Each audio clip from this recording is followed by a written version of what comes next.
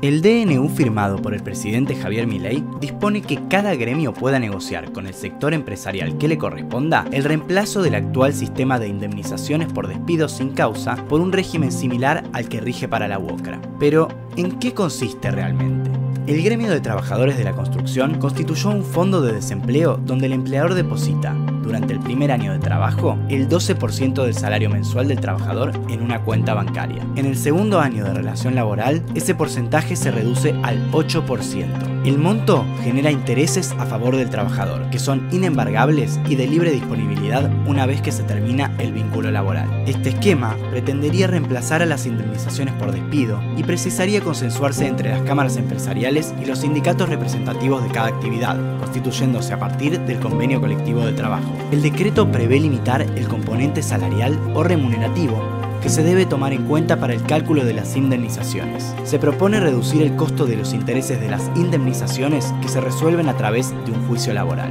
Para más información, lee ámbito.com.